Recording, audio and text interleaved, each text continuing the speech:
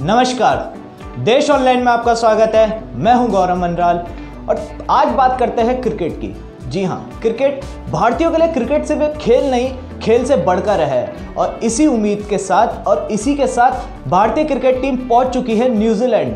भारत ने बता, आपको पहले बता दें कि भारत ने न्यूजीलैंड में नहीं जीता है अब तक एक भी टी ट्वेंटी सीरीज़। क्या खत्म होगा? 12 साल का इंतज़ार।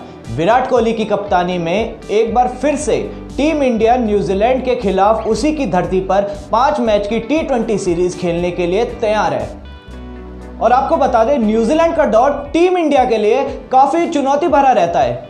और वहाँ पर जीत हासिल करना भारतीय क्रिकेट टीम के लिए काफ़ी चुनौती भरा रहता है। उसकी पिच पे खेलना भारतीय क्रिकेट टीम के लिए काफ़ी भारी पड़ता है, काफ़ी चुनौती भरा रहता है। हालाँकि पिछले कुछ साल से वहाँ की कंडीशन काफ़ी चेंज हुई है। पहले की कंडीशन भारतीय क्रिकेट टीम के लिए खाली मुश्किल भरी नहीं, चुनौती भरी भी रही है। वहाँ न्यूजीलैंड की पिचों पे कंडीशन खाली गेंदबाज के फेवर में होती है, गेंदबाज के फेवर में होती है और इसी के साथ भारतीय क्रिकेट टीम पिछले 12 साल में एक भी जीत दर्ज नहीं कर पाए है न्यूजीलैंड की धरती पर। यानी वहाँ की पिच पर अब सिर्फ़ गेंदबाज नहीं, बल्लेबाज भी अपना कमाल दिखा सकते हैं। और अब देख सकते हैं कि अब शायद भारतीय टीम, भारतीय बल्लेबाजी में भी कुछ अपना प्रदर्शन दिखाए न्यूजीलैंड की पिचों पर।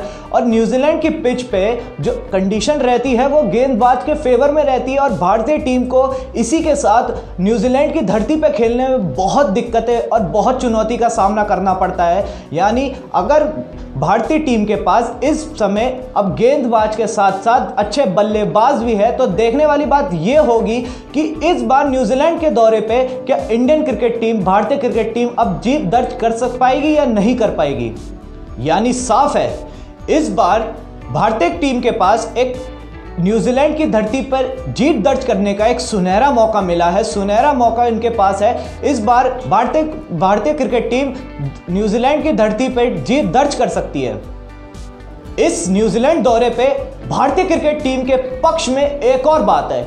ये बात मैं आपको बताता हूँ, इस बार भारतीय क्रिकेट टीम के पक्ष में जो बात है कि तेज बल्लेबाज के साथ साथ तेज गेंदबाजों की भी अब भारतीय क्रिकेट टीम के पास कोई कमी नहीं है। साफ़ है कि अब जब एक टीम में अच्छे और बड़े एक से बढ़कर एक गेंदबाज के साथ साथ बल्लेबाज भी शामिल है तो ये ये सोचना गलत नहीं कि भारतीय क्रिकेट टीम अब न्यूजीलैंड में भी 12 साल का इंतज़ार खत्म कर सकती है। अगर बात करें इस बार भारतीय बल्लेबाजी की तो इस बार भारतीय बल्लेबाजी में रोहित शर्मा, विराट कोहली, के राहुल, श्रेयस अय्यर, मनीष पांडे जैसे बड़े नाम शामिल है। और अगर बात करें गेंदबाजी की तो गेंदबाजी में जसप्रीत बुमराह, कुलदीप यादव और ऐसे ही मोहम्मद शमी जैसे बड़े गेंदबाजों का नाम शामिल है।